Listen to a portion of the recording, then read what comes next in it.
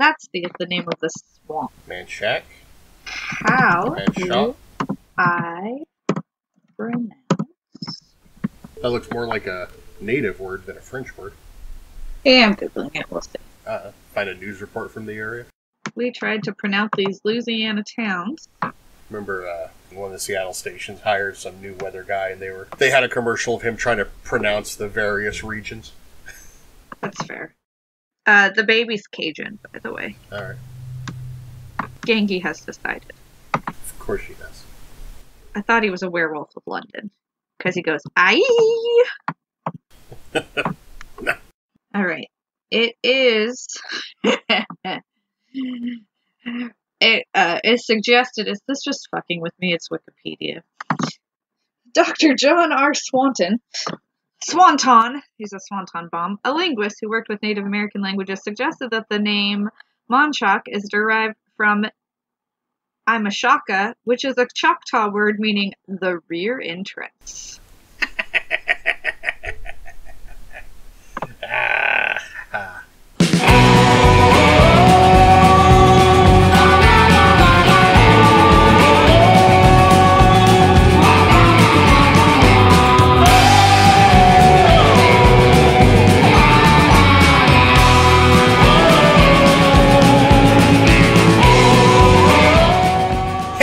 Way too excited. It's the Booze and Spirits podcast. And he's completely sober and this excited. That's weird. That's right. Uh, I'm Nick McDonald, I'm Cait McDonald. Theo's here with me, licking his butt. and that's like a drink with death. Also, Theo's a dog, just an FYI. he's in some of our bonus clip stuff, but I don't think he's been on the main podcast yet. He derps real hard. Real, real hard. I derped I do think that uh, our last podcast went very well, despite the technical problems. I think a lot of that might have had to do with the sobriety, so I'm kind of wondering how much we should be drinking in the future during the podcast. I mean, it's like the happy medium. We need to. I personally feel I need to drink enough to loosen up a little bit, but not so much that I'm out of fucks to give. Because then things get real crude. Like I just said, I'm out of fucks to give. We're like 40 seconds into this. I've like dropped several F bombs. You realize no fucks Katie is everybody's favorite Katie, right? No rules, Curtis. Uh, my friend Katie, when she's drunk enough, is no rules, Curtis. So. All right. We might bring her on someday just for for the entertainment value. when I met her, there was me, Welsh Katie, and another Katie who we just the kitchen started calling Caddy, and that's just her name now. So no rules. Curtis is Caddy slash Katie All for for all of you playing along at home. Too much Katie's. It's not a thing. Big fucking Katie comeuppance. Just used to hire people with my name for fun. Just to confuse everyone else. Mm-hmm. Well, today we deemed we were going to talk about swamp ghosts, swamp haunting, swamp, swamp, swampity swamp. Swamp Crouch. No, not Swamp Crouch. We're not. Let's not talk about swamp crush. Just saying, it's an option. So, my story. I guess I'll get going. Right? Is there something else we need to talk about before I get going? Um, stickers are live. We have our first Patreon. I just got coffee mugs delivered for a giveaway we're working We're on. working on that. Um, I'm going to go hunting for Alice Ream in person this weekend. That's going to be. Nick's gonna go try to bang a ghost with his wife. That's not what's happening. and you have a swampity drink. I do have a swampity drink. I don't know if we uh, settled on a name, but we'll we'll fight it out. Yeah, well, I mean, I do remember getting in a mud clot fight with you in a swamp once as children. there was a lot of dirt clod fights as kids. Do kids still play with dirt clods? Do they even know what a dirt clod is? I think they play with YouTube now. All right. I don't know, maybe country kids. I don't know a lot of farm kids right now. Yeah, they probably play dirt clods, right? If they don't, then then there is no hope for America. So, back to the swamp ghosts, away from the dirt clods. My story is about the uh, ghosts of Hannah's Creek Swamp in North Carolina again, just like my story from the last episode. Um, there's a there's a theme here. So, th- something that kind of doesn't get talked about a lot today because everyone wants to paint the South as complete and utter bastards during the Civil War. but something that's kind of overlooked now is that the Union soldiers were the ones doing a lot of the marching down south, and uh, and I know that this is I, I, read that this was true for North Carolina. I don't know if it was true throughout the South, but uh, while they were marching across North Carolina, they were given leave to just raid and plunder houses and farms as they pushed south. They were given orders never to harm an unarmed civilian and to make sure that they left each family with enough food and supplies to survive. But other than that, it was kind of, you know, free pickings. So that's that's the basis for this story. That's charming. Yeah. Um, most of the soldiers, they, you know, reportedly only took liberties up to what their orders would allow. But there was one group under Colonel David Fanning and uh, his group pillaged and plundered at will, leaving trails of bodies and ashes and destruction in their wake. Uh, and this group became known as Fanning's Marauders. So, one of the homes assaulted by the Marauders was that belonging to Confederate Colonel John Saunders and his wife near the town of Smithfield. Fanning killed them both, razed the homestead to the ground, and unknowingly, and thus sealed his own fate. Is uh, Colonel Sanders, Sanders, not Colonel Sanders. This, that's going to be. Wow, a, Colonel Sanders showed up. I knew this was going to be a problem. this Colonel Saunders. I'm going to say Sanders. this whole goddamn thing. Colonel. Now I want chicken. Colonel Saunders' son was also in the Confederate Army. He was Lieutenant John Saunders Jr., and he vowed revenge on the men who slaughtered his family and destroyed his childhood home. So the Confederates, they knew that, you know, here was a man who was well properly motivated, so they tasked him and his unit to the area near Smithfield to ferret out any guerrilla fighters, any bandits, any other individuals who were taking advantage of the war. And they did their job pretty well. But they were they were on a deadline and before they had to be moved somewhere else and they were running out of time and Saunders still had not found Fanning and his marauders. Finally, the rumor mill caught up with him Saunders caught wind of a group of Union soldiers hiding out on an island in Hannah's Creek swamp. So the Confederates borrowed clothes from civilians so that they wouldn't alert any scouts the Yankees might have, and they rode out to the small island under cover of night. I don't know why they had to go at night and in disguise. It's like that's... social distancing and wearing a mask. It's just better. safer. You just got to be as safe as possible. Okay. By the time the Marauders realized what was happening, they were completely surrounded by the Confederates. Lieutenant Saunders ordered all his men to search the area, search the camp, and he took the liberty of searching uh, Colonel Fanning himself. Saunders, when he searched Fanning, found around Fanning's neck a small gold crucifix that Saunders immediately recognized as belonging to his mother, and his rage instantly took over. That's fair. Yeah, well, yeah. so, Saunders hoisted Fanning up, held him at gunpoint, and ordered all of the marauders to be hung right then and there on the island, forcing Fanning to watch as his men were strung up. Then Saunders took Fanning and marched him back to Smithfield, to the Saunders familial home, and hung Fanning, stretching his neck directly over the newly laid headstones of his parents. Today, visitors to Hannah's Creek Swamp report cold spots and unexplained feelings of dread you know, like swamp. Some report hearing the voices of men begging for their lives, and others hear the creak of branches heavy with the weight of hanging bodies. Some even say they've seen the bodies themselves, as many as 50, hanging from the trees on a moonlit night. So, research doesn't turn up any David Fannings from the Civil War. Shocker my my you know I, I love that we came into this and my motto was ah don't let the truth get in the way of a good story and then I'll tell a good story and then tell you all the truth that gets in the way. Likewise, you know if you want to look up John Saunders, that turns into a crapshoot because there I found a John C. C. Saunders, I found a John L. Saunders, I found a John Sherman Saunders, I found John Saunders Gooch. That's just not a nice name. Like, why would you do that to your child?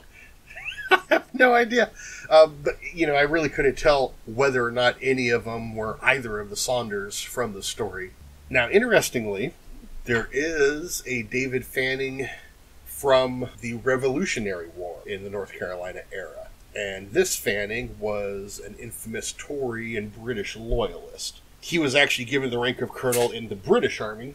Fanning was uh, this Fanning, the Revolutionary Fanning, was infamous for his bloodthirst and regularly killing men unhonorably off the battlefield. So when the war ended and the Brits were being driven off the continent, Fanning's atrocities were so numerous that he was one of only a handful of men that the state of North Carolina refused to pardon for his wartime activities. So he was forced to join the British in evacuating from Charlotte. He died a few decades before the Civil War ever started, so he couldn't be that Fanning hmm. that, that the story discusses. But here's here's how I look at it, and this kind of lends back to some of the stuff that I found when looking at the Cora tree. Haunting aside, I kind of like to think that this story is a way to extract revenge on Fanning in a way that the state was and the people were never actually allowed to do. He wrought some serious damage on the people of North Carolina, physically and mentally, and he, he slaughtered people like he was some kind of movie monster that he just got away and never got punished for it. So the way I kind of look at it is stories like this and stories like the Cora tree, where you know the Southerners were nice and nice and hospitable, and the brash Massachusetts guy was pushy and, and, and pig-headed. These stories work as kind of a, a psychological healing tool of the people. Uh, by rewriting the legend, North Carolina and its people get to have the mental and spiritual justice that re- reality refused to offer them. And I think, I think that's great because I think that's the real power of storytelling and folklore, and it's way more important than the truth of a story ever could be. Okay, well, my swamp ghost is a swamp witch, which I think I said I was going to do a swamp witch, and then I found a swamp witch. You did witch. say that. I had little doubt that's what you'd end up with. Well, I think it depends on who you are and where you're from. If you're going to use the phrase swamp witch, voodoo priestess, she's referred to as a voodoo queen periodically here, but um, Voodoo, voodoo Yas Queen. voodoo yes queen. Are voodoo queens things? Like I know voodoo priestesses. Is anyone a voodoo queen besides Marie Laveau? I don't Because can't there only really be one voodoo queen? I would think so, but it seems like a term that does get thrown around a lot, so I don't really know for sure. Maybe maybe there's regional queens. Maybe queen isn't as overarching as it might be in some other situations. I don't. Obviously, I am not a voodoo expert. My voodoo knowledge is more based on the Loa side of things than the uh, practitioner side of things. On the what side of things? The Loa, those are the voodoo spirits that they uh, worship. Okay, not aloha. The aloha side of voodoo. No, Loa. The aloha side. So we worked real hard on the trying to find the correct pronunciation for this particular wetlands area. If we're wrong, I apologize profusely. I only pronounce some words inappropriately on purpose, and those words are usually like a chimichanga. And that's just for our very first Patreon, very first patron, our very first patron. Shout out to Tani and her chimichangas, just a little chimichanga. so, we're going to talk about a voodoo priestess of Manchac Wetlands. We decided Manchac, right? man check, baby man check. Mayonnaise Wetlands. That sounds messy. We've already apologized for our pronunciation, so that means that we can just do whatever the fuck we want with pronunciation. Exactly. Um, well, I said mayonnaise wetlands, and then the first note I looked at was about half an hour northwest of New Orleans are thick with swamp ooze. Mayonnaise swamp ooze. Uh, why is something so wrong with me that that made me want mayonnaise? Mayonnaise and chicken. Sounds delicious. Today I'm cooking with white people. You have to be careful though. You don't want your mayonnaise to get too spicy. but it goes great in a salad. So, anyway, focusing. Focus. Focus. So, I'm going to tell you about Juliet, the voodoo queen of Manchac Swamp. I'm going to be honest, I've seen her name as Juliet Brown or Julie, or her last name is white or black. So, we know she has a color for her last name and will probably respond to Julie. All right. So we're looking back uh, around 1915, I believe, here to a lovely wetlands outside of New Orleans. Julie, Juliet, Miss Brown if you're nasty, or Julie White, Julie Black. What? So many. I just. Ugh. Julie Green, Julie Red, Julie Rainbow. Julie Chartreuse. Anyway, she uh, lived on the edge of the swamp in kind of a remote but not completely run down portion of New Orleans. There was three small towns there: Frenier, Ruddock, and Napton. On the edge of this wetlands, there's a lake there, which I'm not even going to try to pronounce that one. so it said that although Julia, Juliet, Julie, we're Jules here, was um, into some of the more darker aspects of voodoo. She did work with a lot of the townspeople. And I have found different sources saying that she was friendly and more source well, and some sources saying she was more of like a recluse. But it seems like she at least was friendly with the town folks and probably did some shady side work for them that they didn't want people to know about. We're talking a good, proper old style witch where she lives on the outskirts of town and everybody's afraid of her, but everyone also respects her and goes to her when they're in trouble. Type. Yeah, exactly. She is she is the swamp's granny weatherwax. She is my life goals. So it said that she would sit on her porch and sing little songs that you could hear from quite a ways away.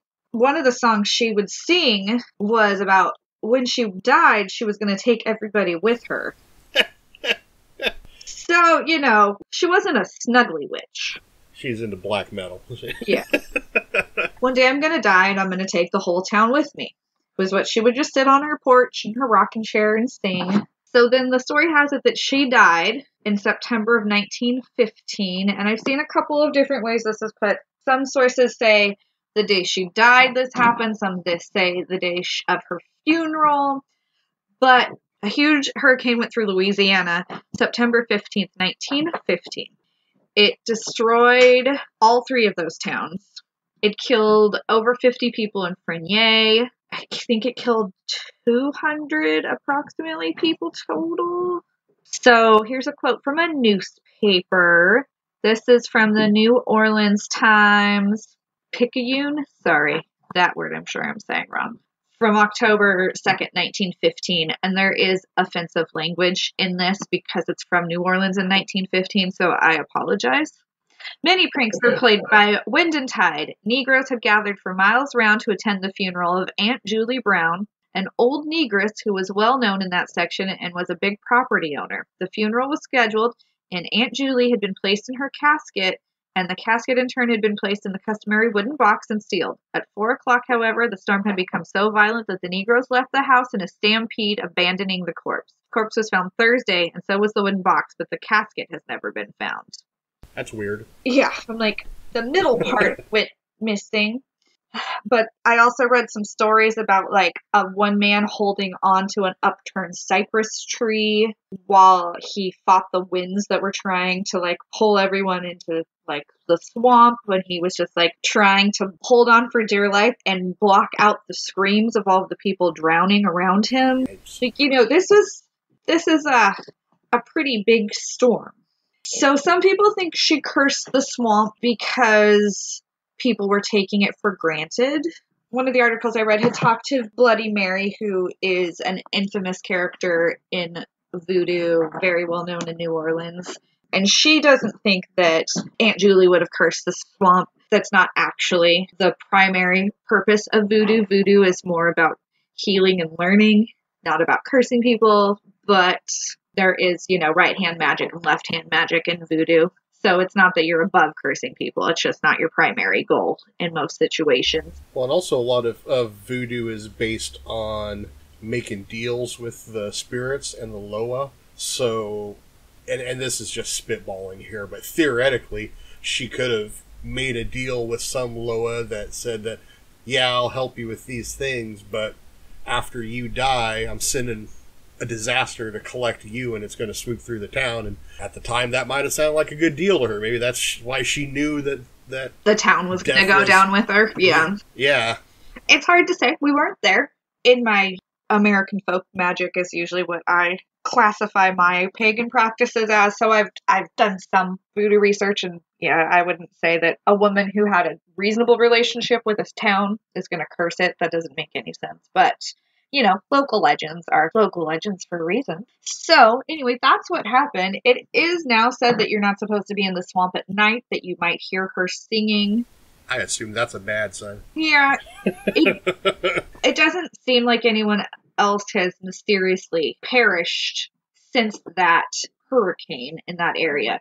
But the swamp is supposed to have extra spook even for a swamp. Mm-hmm. you are supposed to be careful in that swamp. You're not supposed to be disrespectful because there is a chance the curse will follow you out.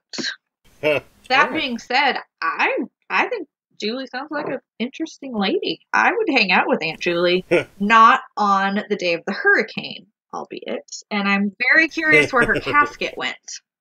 So I guess that's more of a, a swamp curse, a spooky swamp story, not a swamp ghost story. Yeah, well, that's fine. We're our batting average for hitting the actual topic of these shows usually is pretty low. You know, So I think we can get away with my that. goal is a good creep, a good spook, not necessarily uh, to follow rules, guidelines. More the guidelines. That's right.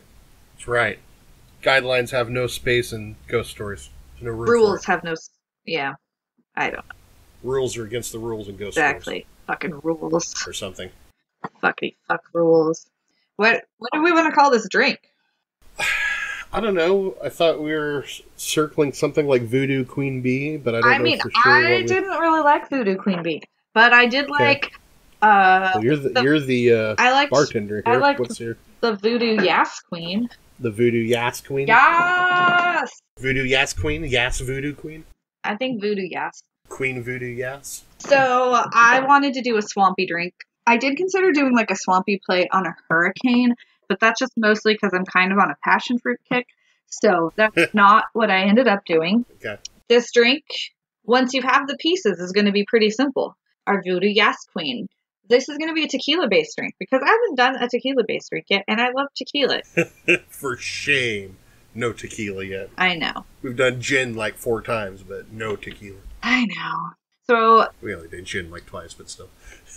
and I have some Empress 1908 gin I really need to play with. Sidetrack Uh. here. It's a butterfly pea blossom gin, so it's that nice purple color. You can play with Mm. it. Yeah, I want all the gins. All the gins. the G I N's and the D J I N N. I was just thinking we're gonna at some point have to do a a gin gin episode. Gin gin. A ginger gin gin. And then we'll eat those gin gin candies while we do it. And then you'll lecture me that I've had like multiple psychics tell me one of my spirit guides is a gin. And I don't futz with gins. I'm not about them. You don't got to, but they're they're my buddies apparently.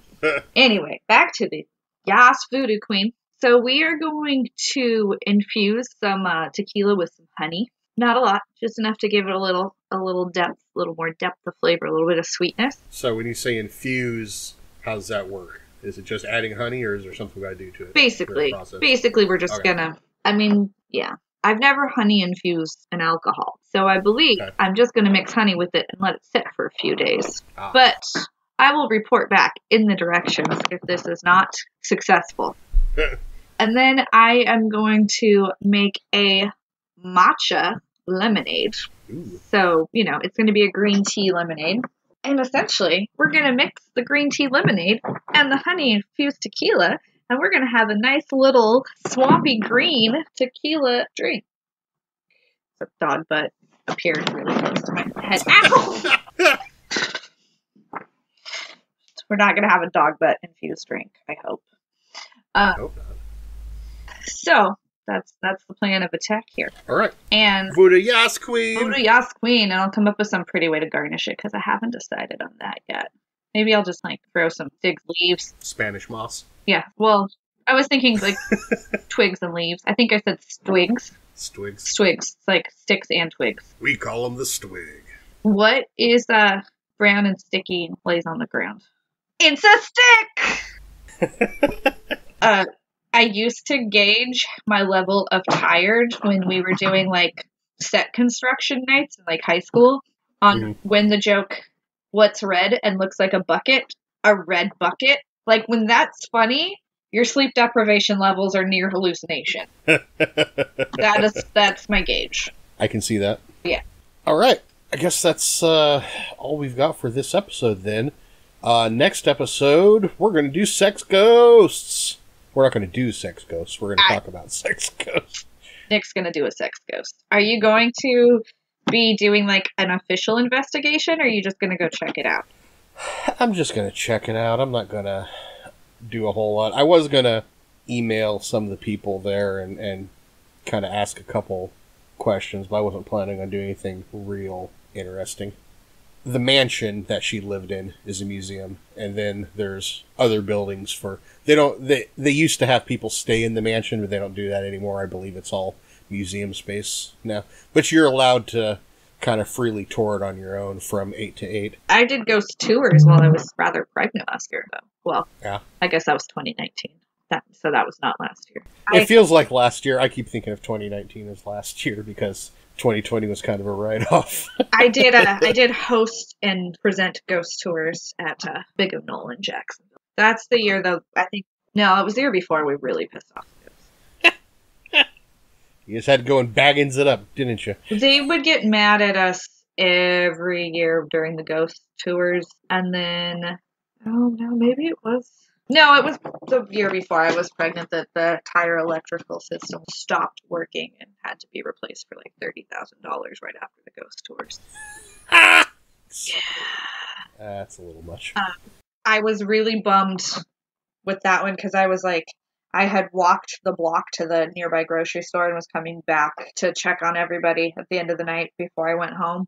And I was like walking up the, to the property, and it was like November, December. It was like holiday season time, at least close to that. It was cold and dark out, and the ups the restaurant was in the basement, and then all the upstairs was like event spaces and private offices. So there was nobody up there at this point in time and I just started watching the lights just like going on and off all over sporadically in the entire building. So I pulled out my camera or my phone to take a video, and as soon as I like opened the camera, it stopped. Like, God damn it! There's a there's a. so um, Nick's gonna try to have sex with a ghost. We have a promotion running right now for some free stickers if you check out our Instagram.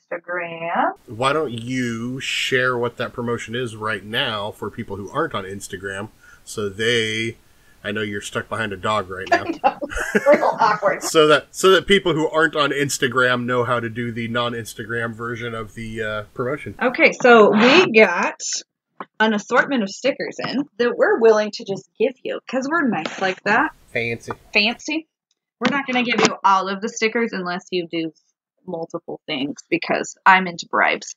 But here's the thing you can do you can like us on Instagram, go to the sticker post, and tag three friends, then send us a DM that you did it, and I will send you some stickers.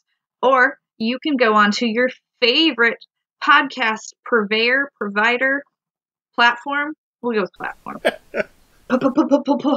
uh, go into your favorite podcast platform, like, subscribe, leave us a review. Actually, I think I just said leave us a review, but you know, we would prefer if you liked or sus- subscribed to us also. And yeah, and the thing is, I don't even know. Is anyone even uh, because Spotify doesn't do reviews? Apple does reviews. Apple does reviews. I don't know if Google does or not. What? Well, you know, Whatever you can. do something to shamelessly promote us. Give us some good feedback. Stroke my ego. I'll give you a sticker If you go above and beyond what she asked, she might even give you some extra stickers. We'll see. and some pictures of Theo's feet. Dog paws. We should also mention that we do have a full set of the stickers for folks who sign up for our Patreon. Your first month, we will send you a pack of these stickers. Each design, all five designs. Yeah, because I mean, everyone wants a daddy special sausage sticker to put on their hydro flask, laptop, disco girl. I think everybody should want a legally obtained corpse sticker to just slap on, I don't know, random packages that they're mailing. That's a good point. That's a good point.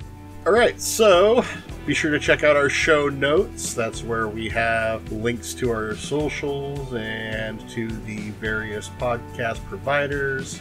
Our website is boozeandspirits.com. Well, anything else there? Boozeandspirits.com. Um, yeah, Usually it takes us like 10 minutes to get through all this, but I've kind of accidentally stumbled on a way to do it in 30 seconds. or maybe it's because we're sober. Um, Maybe. like us on Instagram or follow us on Instagram, like us on Facebook. Check out the Patreon. Uh, check out the YouTube. We are working to add to create more content for YouTube. Right now, it's primarily just the YouTube version of our podcast because I know some people like to use YouTube for their audio purposes. But we are working on some video content to stick up there. If you have things you want to see from the show, you can let us know. We'll consider Yeah, it at least. free. We're pretty stubborn, but you know, if it's cool, we'll probably do it. We are stubborn. We are stubborn and pig-headed, but we're also willing to at least listen to a suggestion. I mean, yeah, basically the whole show is behind the scenes. It's just Nick and I fighting over things we think we should do. There's a lot of that. We'll start sharing our arguments. Our, our messenger arguments. We'll start posting those on Instagram. All right. I'm gonna go pick up my kid and then go get a nerve conduction study done. If anyone wants Ooh, trade lives. want me to live stream getting needles shoved in my legs today, they probably won't let me. All right. Please drink responsibly and in accordance with your local laws. Don't end up our next ghost. You wanted to say it, That's didn't you? Well, you you got it in there. It's look look. We're finishing each other's sandwiches. It's great. All right. That being said, Cait needs a sandwich. Cait needs a sandwich. Nick needs to uh, probably start editing a podcast. All right. Thanks everyone. Goodbye. So long, farewell. Auf Wiedersehen. Adieu. Adieu. Adieu to you and you. Just trying to find a good spot to start singing Check Yes Juliet.